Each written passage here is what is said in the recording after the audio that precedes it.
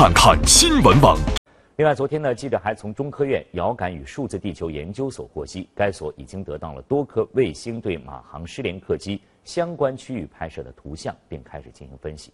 据介绍，遥感地球所会把监测结果第一时间报送国家有关部门，以帮助搜救。那此次我国调动的四类卫星空间分辨率不同，且有的是光学卫星，有的是雷达卫星。集成起来后，可以对海面多方位监测。遥感地球所昨天公布的一张对相关海域的卫星成像显示，有四十多艘舰船正在那里搜救。